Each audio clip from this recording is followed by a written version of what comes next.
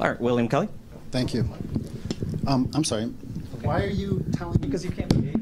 Excuse me, don't hit me with the microphone, okay? Not again. Why, Sir, I mean, sir, just every an- other reporter sir, just held the microphone. Sir, can you please ask your Every other reporter held the microphone. I don't believe that that's correct. Mayor Go. Lightfoot, every, I have it on camera. Every single reporter held the microphone. Can you ask your question, May I just, why, come on, don't be, don't be a jerk. Could you just hand me the microphone? Do you have a question? Yes or no? I have a lot of questions. Ask your question. Uh, okay, so Mayor Lightfoot, every time I ask you about crime in Chicago, you say crime is down.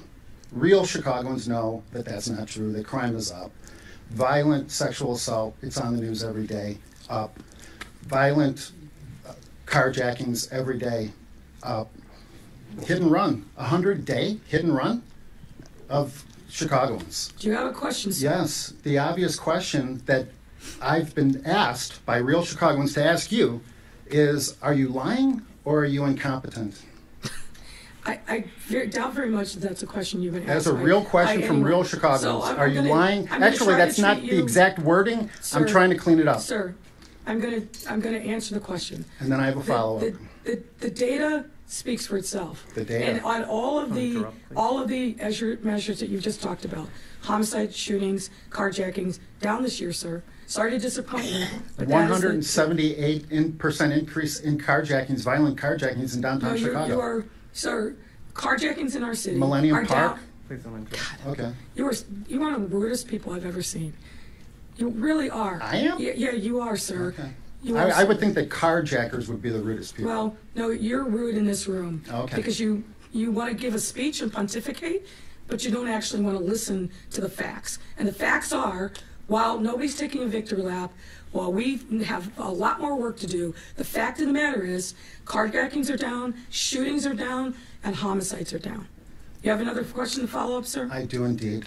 The reason why workers do not want to return to the downtown offices, the reason why tourism is obviously flat, flatlined, uh, is because people are afraid of the violent crime, especially in downtown Chicago, River North, Streeterville, uh, Millennium Park, Grant Park.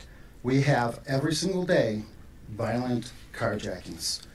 Gun to the head, Sir, gun to the head, violent Please, I'm going to ask you, I've been very patient with you. You come in here and you give a speech every single time. Just ask your question. Be a real journalist, ask your question. A very disturbing development with the violent carjackings is they are primarily being carried out by teenagers. And when I say teenagers, I mean 14, 15, 16 year old Mm-hmm. I'm black children. data, sir. What is the reason for this? And what is your plan at long last to solve this problem? Well, first of all, let me just say this. We are actually seeing an increase in the number of people that are coming back downtown. Um, and it's certainly an increase over last year and month over month.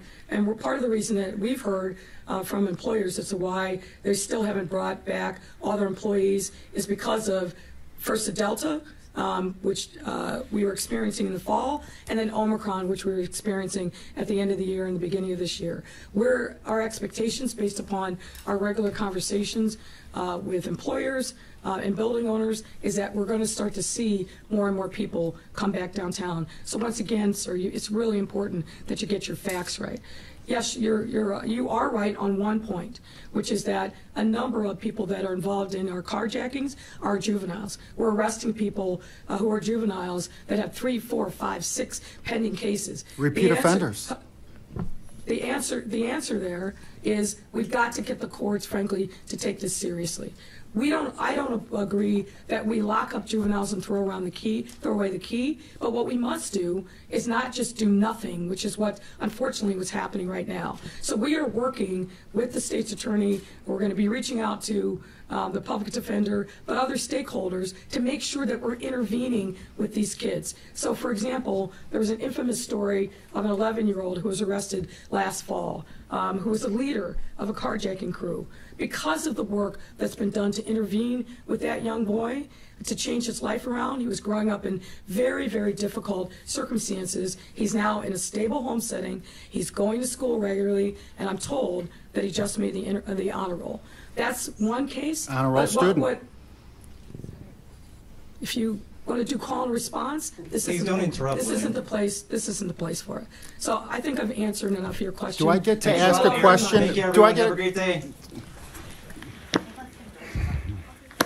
Unbelievable. Unbelievable. everyone.